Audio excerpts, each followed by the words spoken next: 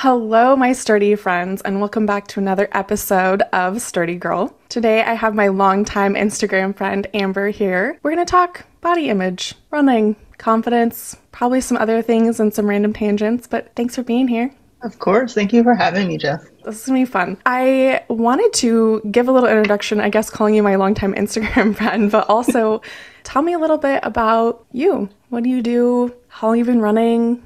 I am a run and strength coach. I have been running, I guess, almost 20 years. I trained for a 5K with my bestie, Jess, who's also named Jess in 2005 for something to do and look forward to. And after that race, I swore I was never going to run farther than that because that was so stupid. Why would anyone do that? Obviously, I have. I've run a 50K, a few marathons, plenty of halves. I am a wife and mom. I have two teenagers, which is wild. And I work for myself. So I have clients that I train one on one, running and strength training, and then I do some corporate fitness where I teach classes at a business. That's awesome. I didn't realize that you've been running 20 years. And also, like, yeah. you got talked into a 5K. You probably crossed the finish line and you're like, F this. I'm never yeah, running again. Like, and then mm-hmm. how much longer till you signed up for another race? I would probably say it was honestly a couple years. Okay. Because then I had, yeah, like I would run, but I wasn't racing.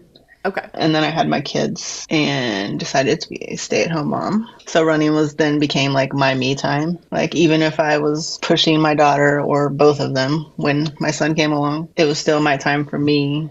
And it was just nice to have that separation of something that I could do for myself. That's awesome. And then when did you start run coaching or and or strength coaching? Well, I started coaching friends first, right? I got my certification, my RRCA certification in 2012, I think. Okay. And then strength coaching, I got my personal training certification a couple years after that, I think. I decided that if I was going to go back to working once my kids were of an age where I had a few hours in my day that I wanted to go and do something that mattered. And running and strength training made such a difference in my life that I wanted to be able to help someone else find that. Women, especially, because I've been strength training, I don't know, I think I started lifting when I was like 12 or 13.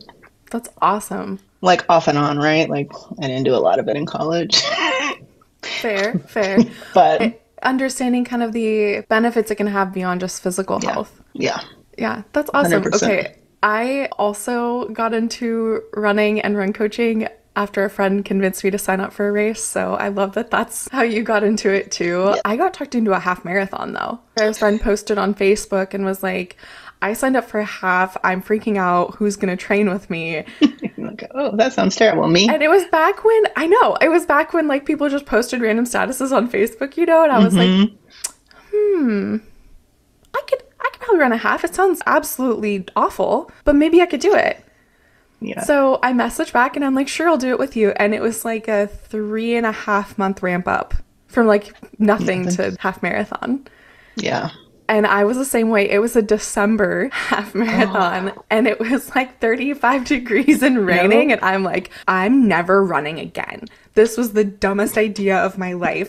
But in the process, we'd like started a running blog called We Run for Cupcakes. And we had so much fun writing these blogs that I finished that race. And I was a week later and I was like, okay, what race am I doing next? A week later? You're yeah, it was a week later. It was like by the time the soreness goes away from like running an untrained race. and then went from there. I ran a half that following spring and my first full marathon like the fall of that year. It just wow. it escalated real quick. Like you just went full full throttle. But same with you where you're like, okay, I started coaching friends. Mine was like friends, family, friends of friends. And then I was like, hmm. Probably get certified? Get, yeah, I probably should get certified if I'm gonna coach these people. Yeah. And the rest is history. That's awesome. Yeah. Like starting out with that love of movement and seeing how much it helps. For me, it was like that mental health piece too. Yeah. 100%. Uh, it was so bad, like, when my kids are little, sometimes they still do it to me, and my husband too. But, like, if I was, like, grumpy, extra, like, snappy or whatever, they'd be like, Mom, I think you need to go for a run. So, that, yes. Okay. They caught on that that is definitely, like, a mental help for me is to, like, get out and move my body in that yeah. way. I'm just trying not to, like, crack up laughing on my microphone over here, but like same to the point like Blake will come and hand me my shoes. And so he won't even say anything and it's not like, hey, you're being a jerk or you're being grumpy. It's like it's you just, just like, need to do this. I think a run might be a good idea. you know, or a mm-hmm. lift at this point, like knowing how much it's going to benefit. And in fact, when we first started dating, one of my best friends, she told my husband, she's like, if Jess is ever grouchy, she needs one of three things. She needs some kind of workout, whether that's a run or a lift. She needs food or she needs sleep or a combination. It is up to you to figure that out, but I can guarantee you it's one or a combination of those three. Blake will tell you to this day it has not steered him wrong. Yeah, that's fair. So he started always having snacks in like the center console of his car. Here you go, you're being grumpy. Fix it. Yeah, my husband makes fun of me because I leave food in my glove box. That's smart though. And especially with all of your long distance running. Yeah. How many times you get back to the car and you're like, all right, what's in the glove box? Yes, I'm so hungry. Yeah, I I will need, eat anything. something now. Yes, Yes. exactly. Give me the snacks. Okay, so what is on your race schedule? Because you ran a 50K in the fall. No, it was in.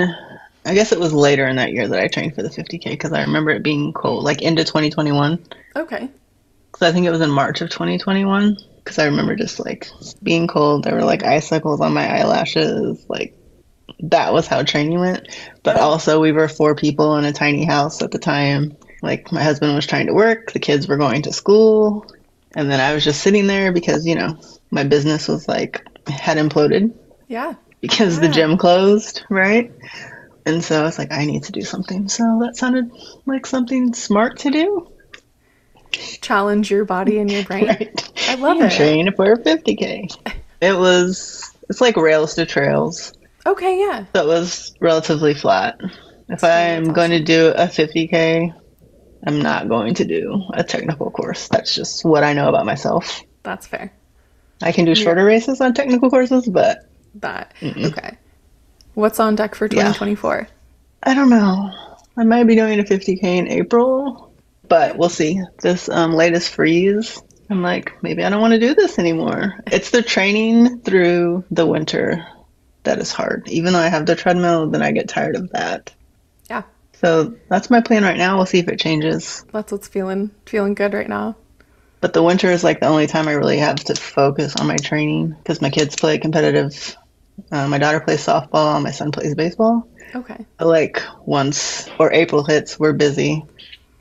I know you do treadmill running. So you Yes. have that as part of your so when it freezes, that's where you're at. Yep. How That's do where you I'm at. how do you keep yourself entertained on the tread? So what I like to do on the treadmill is I'll give myself a show that I can watch, but only when I'm on the treadmill. Like so that kind of motivates me. Like if I want to see what happens, hopefully it's a good show. If I want to see what's happening next in the next episode or whatever, then I have to go down there and get on the treadmill. I love it. That's kind of what I've been doing too. Yep.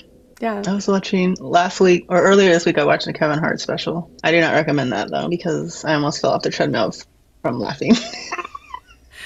I did that got me through my run. that's I was gonna say, right? You're like bracing your arm rails on your treadmill. like Yes. keeping yourself Exactly what's happening. I Trying not to die.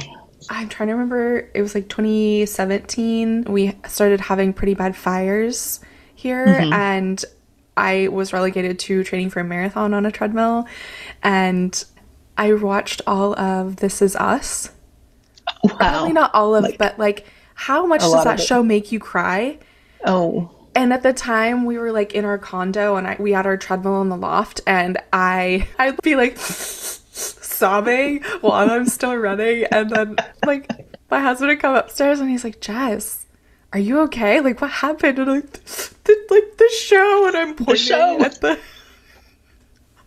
Yeah, but hey, you know what? The distraction piece of being on a treadmill, like, if it makes the time fly, yeah, it's worth it. hundred percent. Whatever it takes to get through it, right? I'll tell you though, if the show's not doing it, I will bust out early 2000s pop or rock. and like the go-to playlist of just obnoxious music and then just like Yes. zone out for the last 10 minutes. Yeah. Yeah, that's how I am on long runs. If I run by myself, like outside, nineties, to early two thousands hip hop and R and B Yes. I love it. always gets me Um, through. Okay, so talking a little bit along the lines of Sturdy Girl and just delving into a little bit about maybe like body image or confidence or resilience, do you feel like running has helped you in any way with like your relationship with yourself or with your body over the years? And we were talking a little bit about that mental health piece. Right, a hundred percent. I think when I have those tough days, I just reflect on like what my body has been able to do, regardless of what size it's been. I mean, you know, COVID was hard, gained some weight, perimenopause is here, so that's fun. Not knowing your body. Yeah. And so I try when I get in that headspace to focus on that, like what my body is capable of, all the miles that it's carried me through, all the races, how much I can lift, or, you know, I You're take strong pride in on. my I see your, yeah. I see your like four times speed lifts on Instagram. You know. yeah, I'm like, do, do, do, do, make them so fast. Yeah. And then also for me as a mom, like, that also helps me, especially for like the running when the running gets hard. I tap into that, like, you've had kids. You can finish this half marathon or you can finish this marathon or whatever. That's crazy. Like, I grew up kind of similar to you. I had two sisters. They're both tiny in like stature and they're thin. so I'm the tallest and I have the biggest body. Not to say that I'm like, I'm like straight sized, you know. And my mom was very thin too when I was growing up. So, like, even though no one, my mom never made me feel a certain way about my body or anything like that. I don't even think my sisters did really, but it was still like, because you still when, have when the we grew up. messaging, like- right? This is the messaging. White, blonde, blue eyed, tiny. This mm-hmm. is the American standard. You, ma'am, are none of those things. And my mom actually is. She's white, blue eyed. So that was a whole other thing. It's like, well, why didn't I get any of that? The whole mind. How do you feel like that impacted like growing up and like combating those messages? I mean, it was hard. I played sports. I played basketball, volleyball. So that definitely helped. Still, so like the physical movement piece of just Mm-hmm. you know without being ableist, but like focusing on the things that you your body can Right, do, your body has done do. the things you asked. Yeah. to- uh, yeah. And when you're playing sports, for the most part, right? We could get into a whole discussion of like a typical runner's body and like that whole thing. Right. But I feel like in high school, in those pieces of playing sports, the way your body looks or the size of your body isn't necessarily something that ends up being at the forefront Right. It didn't as matter as as much. much. anyways. Yeah. You're, you're out there working on skills based practice instead of that. Yes. In our high school, we had, I think it was the first year they had it, but our assistant basketball coach started a women's weightlifting class. So that was a lot of fun and really empowering to like be able to lift in the weight room at the school, but it just be all females. So we didn't have to take it and deal with the guys and all that Bro comes with that. lifting. yeah, the bro lifting, their comments, the weird look. I mean, you know, high school is high school. But I found that to be very empowering. And my daughter participates in something like that too at her school. That's awesome. I was going to ask any insights on being a mom and navigating that piece of, I'm going to say having a daughter, so we talk more to women on Sturdy Girl, but like instilling the messaging of you're so much more than a body and talking about those pieces of working on that confidence because those teen years are so fraught so with hard. emotion and just na- I can't imagine navigating that. It's hard. I have to say for myself, like I always was aware of what I said, and I don't think I've ever said anything negative about my body in front of my daughter. And I was very conscious of that and wanted to be sure that I didn't do that. And I think it's been good. I don't hear her say, at least to me, or in my earshot, right? She's strong. She's been lifting since like when I taught classes at the Y, and she was old enough to come at like nine years old. She would come and take my classes. So she's always been in that environment. Yeah. And I just always try to preach, you know, like it's not about what your body looks like, but what it can do and how beneficial movement is for your mental health as well as your physical health. Absolutely. So I think I've done a decent job. I don't know, I probably screwed like, up so in other ways. there hasn't been any crazy but- fallout, so we'll keep rolling with I- it. right. But I feel like that's all parenting, right? Like you try to leave your kids better than what you felt it was for you. Yeah, absolutely. It's all you can do. Don't know if I've succeeded, but I'm trying.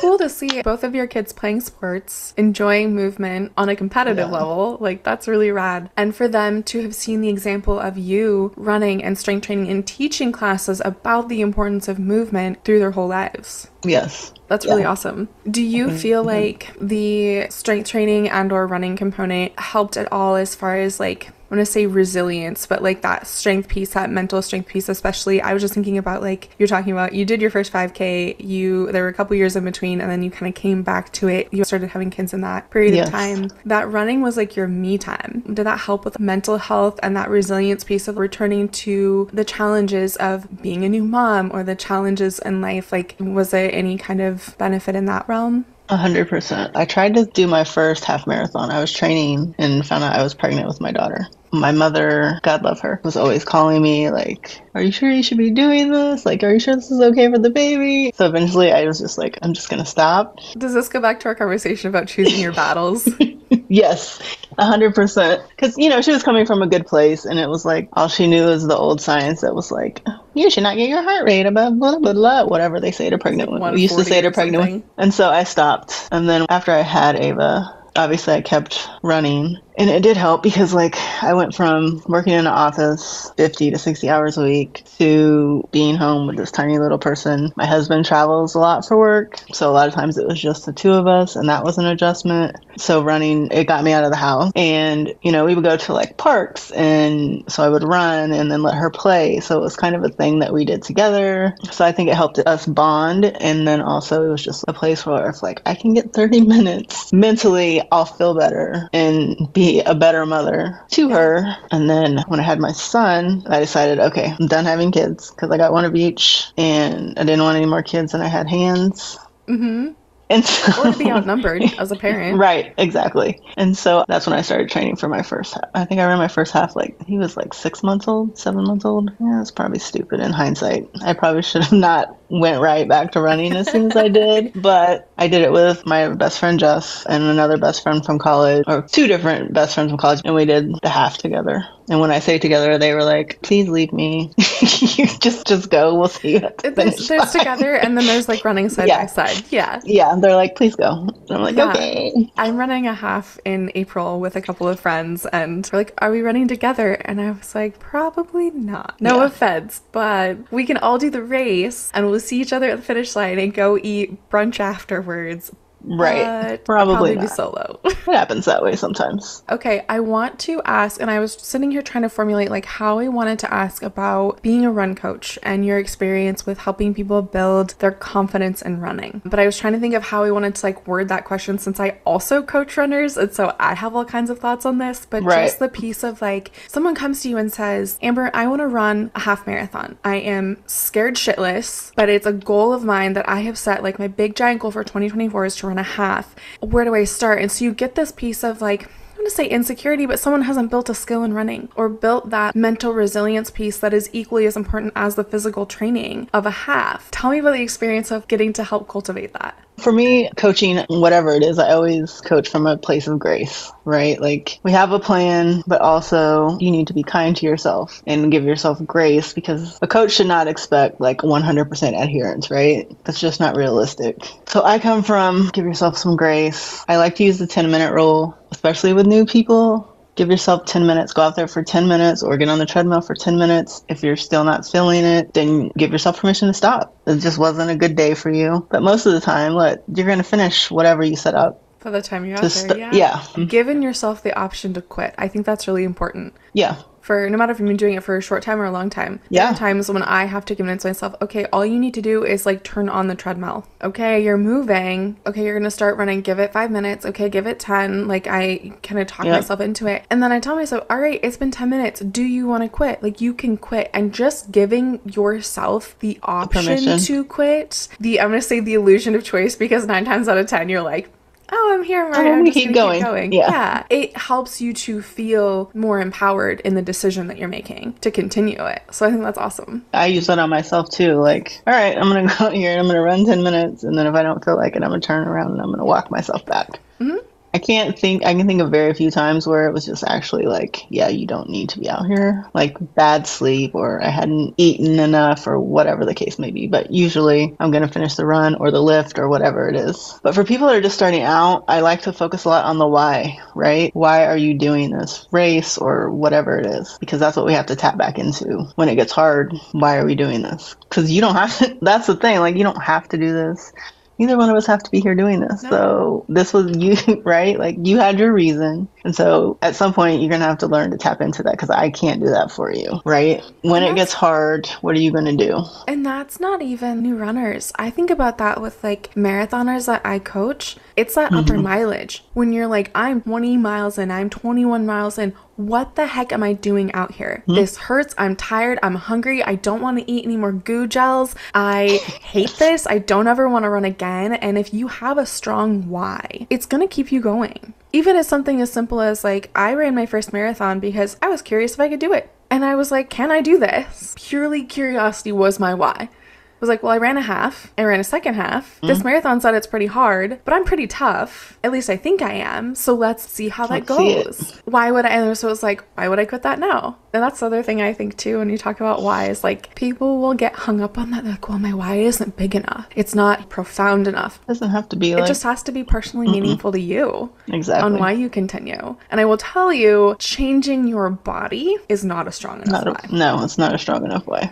I was gonna say, I don't know what conversations you've had with clients about that, but it's like if someone comes to me and wants to run a race to lose weight, I won't coach them. And Yeah. maybe we have the conversation to explore other reasons why. But most of the time I'll say I'll say no. Yeah, I'm not the coach for you. No, because first of all, long distance running, it's not that's not the weight loss secret, you know? Right. No, Uh, it's but not. also that's not gonna keep you going when when shit gets hard. Exactly. Even in the weight room, like the same thing. It's like, well, I want to lose weight, but what else? There's got to be another reason. It can't just be for that.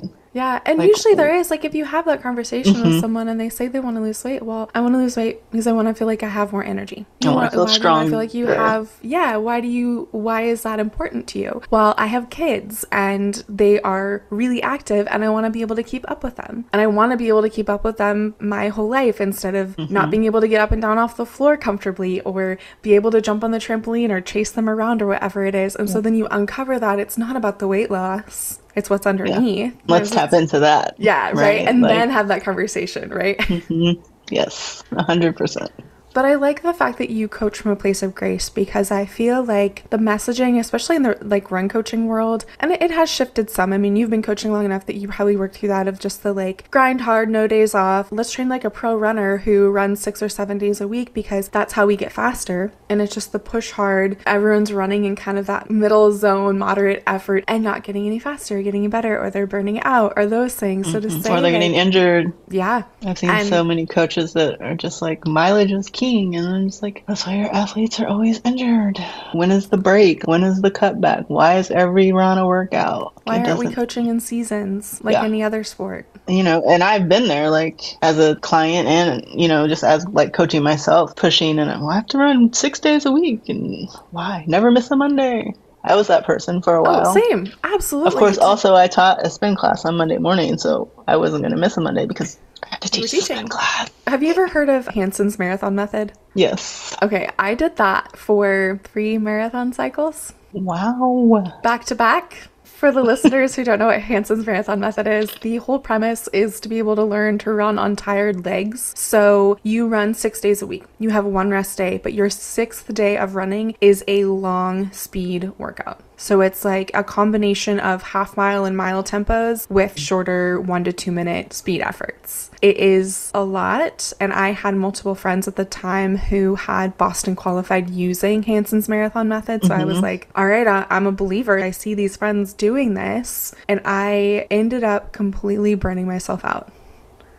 Like didn't get injured three- though not that time, no. I ended up with bronchitis and I ran Marine Corps Marathon with bronchitis and still completed it because that was my mentality at the time. Still showed up, did the race, and then was like, I swore up and down I would never run again. And I took six months off after that. i'm glad you took break you needed oh, it Oh, My, like my body and brain wouldn't let me. It was the weirdest form of burnout that I've ever experienced in my life. I would lace up my shoes to go for a run and I'd get outside and I'd start crying because I was like, this is hard. I don't like it. I don't want to do it. And it was that piece of going back to like giving yourself grace. I was like, this isn't the season. This is not the season. it's not worth it to i mean it you know wasn't. like no.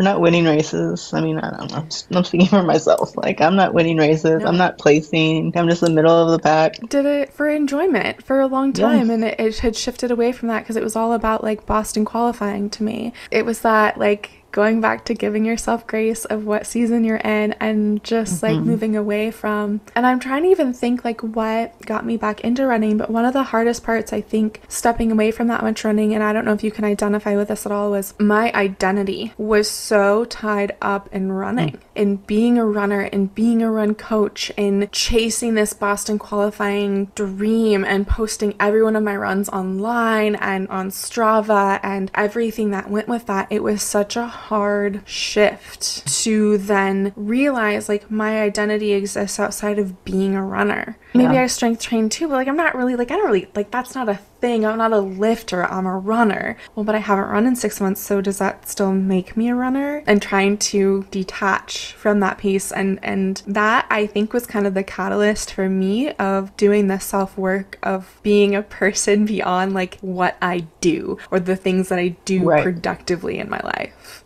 Well, and that's hard in this industry too, because like when I first started was the era of like your body is your business card, right? Like, I mean, it's still like uh-huh. that in some circles though. yeah, it is. I just we've curated our I think online Yeah, that's true. Yeah. So I don't see that anymore. But like, no, it's not. My body's not my business card because I could be buff and tough and not have any knowledge whatsoever. But I- I'm going to sell you this plan because you want to look like I look. So I'm going to take advantage of that. I'm gonna sell you my six pack. Exactly. And it's like, that's, that's so stupid. My body doesn't tell you anything about my education, my certifications, like what kind Any of a person I am. None of that. No. But I, And I used to believe that. I almost ran myself into the ground. trying to keep up with it. Yeah. Yeah. So agreed. But going back to that piece of like having that runner give themselves grace, they're showing up, they're they're really connecting with their why. Are there other things that you would give as advice for building that that resilience piece? And like I think mean- about the things you say to your clients like all the time. I mean, like sometimes in class, this isn't so much as running, but I think it also applies when people are like, this is really hard. And I'm like, well, you didn't come here for easy. Like, no one chooses to be a runner because it's going to be easy. Running's not easy. I don't feel like it ever gets easy. You just get better at it, right? Yeah. When I have people say that in class, I just laugh at them. like, you didn't come here for easy. Like, if you wanted it to be easy, you wouldn't have showed up for my class. You would have gone to like the restorative yoga flow.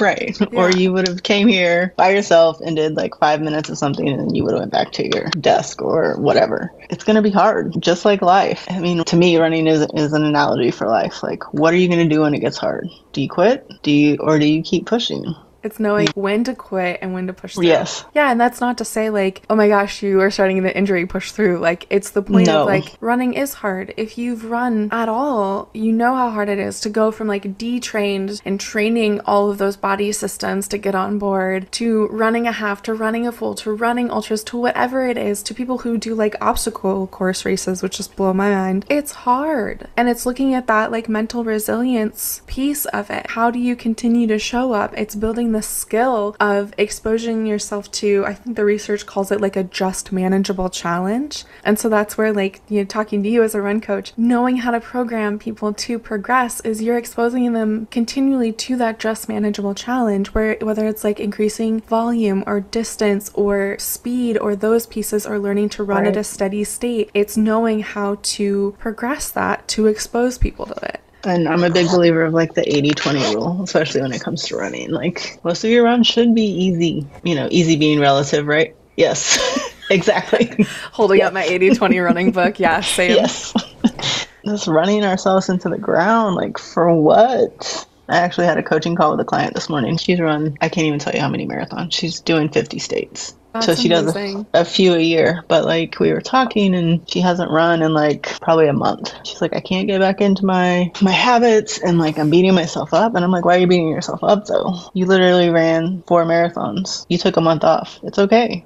Your body and brain need That's it. the statement. So, like, here's what we're going to do. We're going to throw a few 20 minute runs in here and then get your long run in. Because that's the other, that's one piece of it too is like when I wasn't running for those six months, I was still like going for walks, going for hikes. I started biking, having other mm-hmm. forms of movement, just trying those other things that aren't running and mm-hmm. leaving it totally unstructured. Yes, that's great.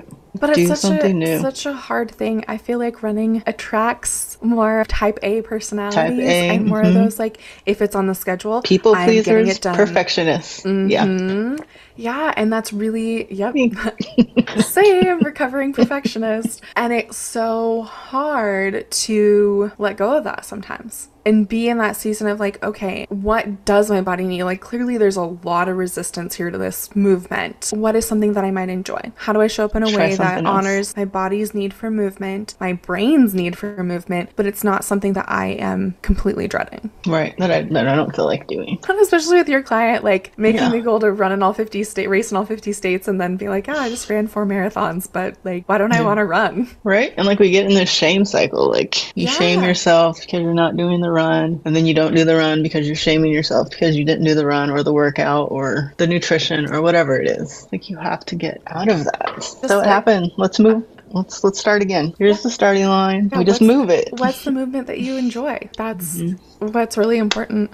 Yep. I was just thinking of our confidence. It's just the building confidence in something, the skill in something. So, talking about running, I'm trying to remember where I was reading it, but it was talking about creating habits in your life. And whether those habits are like improving your running, improving your lifting, if it's creating the habits around drinking more water or eating more fruits and vegetables or whatever that say we're like, don't create the habit as if you're showing up on your best day. Create habits and routines that you can do even on your worst days. Like, what are the things you can follow through on on the shittiest of days? And that's what's going to set yourself up for growth and being able to say, okay, here's my baseline. What are my non negotiables? And then how can I build on that? And I just thought it was really interesting because we do, like for me, when I was sitting down and thinking about what do I want for 2024? What are my goals? Like signed up for this half with my friends. We're actually we're running the Maui half marathon in April. So we're making it like a long girls weekend, which I'm really excited about. But it was like, okay, what we have this goal to run a half. Obviously, I need to run. I need to ha- figure out my run plan. I need to start experimenting with like what shorts I can run in because I haven't run in shorts in ages, and it's going to probably be mm-hmm. warm over there when we Yep. run. And like Let me know breaking if you that all need some down suggestions. and then just being like,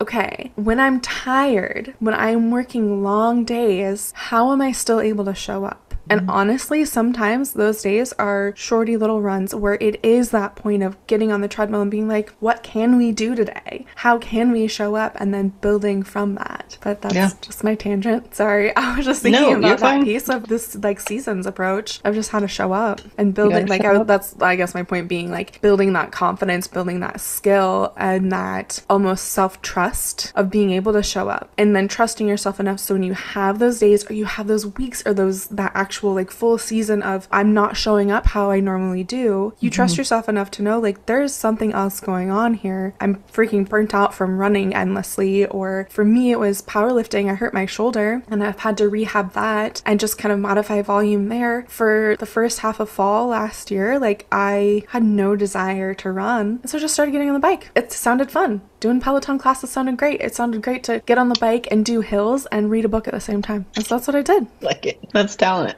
Well, I mean, it was more like, you know, we talking about watching Netflix on the treadmill and that piece Yeah. of distraction. That was how I'd be like, I really want to finish this book tonight. Well, I'm going to get on the bike and I can finish the book, you know, and like have Yeah. those, what do they call it, temptation bundling. So I like bring together the desire to read my book for movement that I want to and know I need to get in and like pair them together. I do that a lot. It's fun. I think for new people, also stressing that walking doesn't not make you a runner. Like when you take walking breaks during running. Yeah. Oh, absolutely. Because I can think back to like when I became a runner. There was no way I could walk during a run.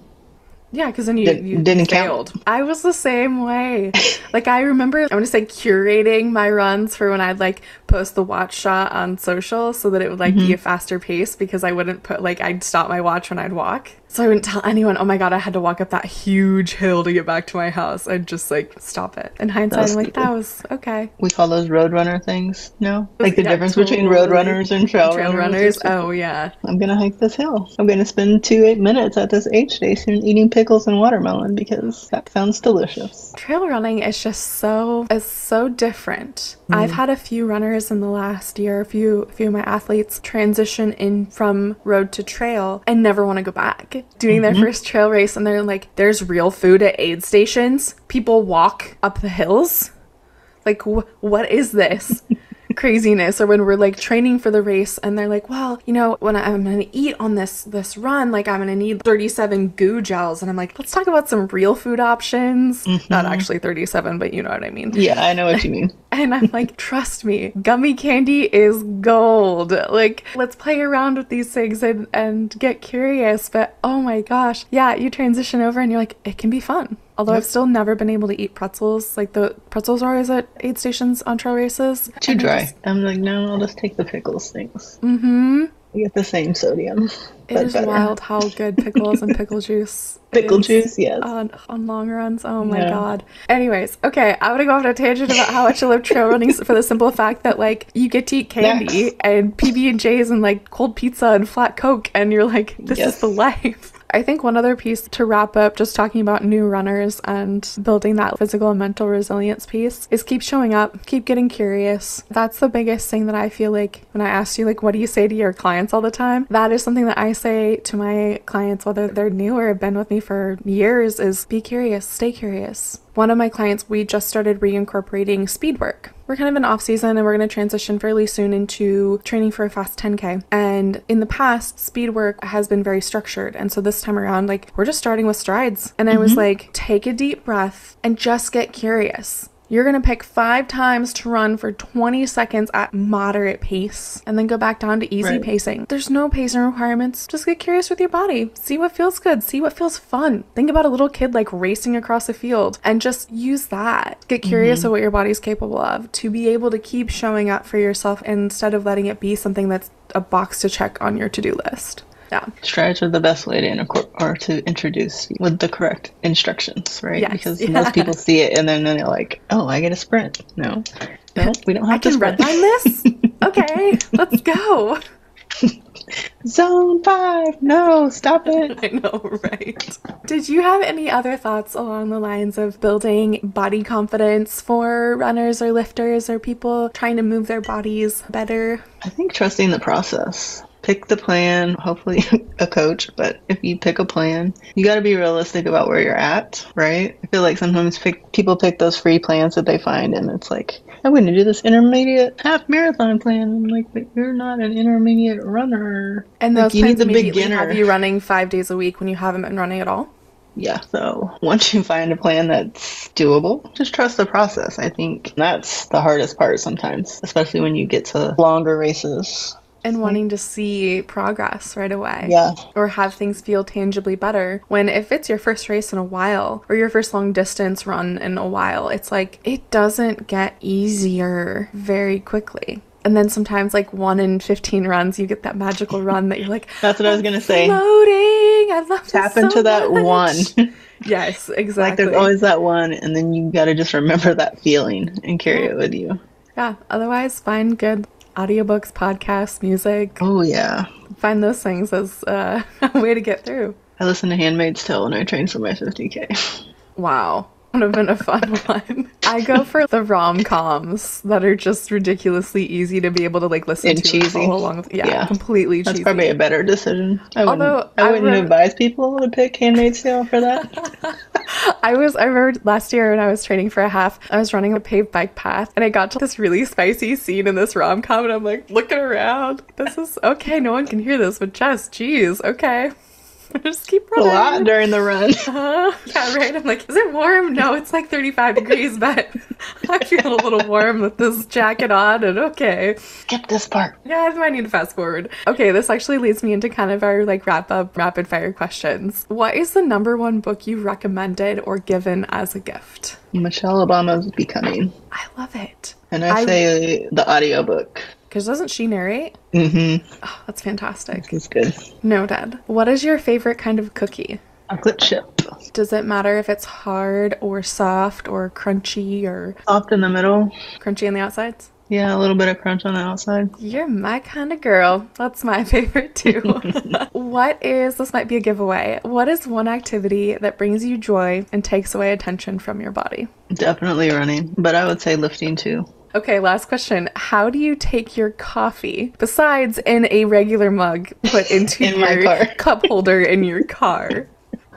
Open cup in the car, always. No, it depends. If I'm going to a coffee shop, then I like to get a latte with honey and cinnamon. Yum. If I'm at home, honestly, I drink black coffee more often than not. Sometimes I'll put a little creamer in there. Honey and cinnamon sounds like such a warm combination. I like that. Oh, it's so good. It's fantastic. Okay. Well, where can our audience find you and learn more about your coaching? Instagram at Soul Strength KC, or my website is soulstrengthkc.com. Thanks so much for joining us today for chatting about running and lifting and all things physical and mental resilience. This has been fun. Thank you. Thank you for having me.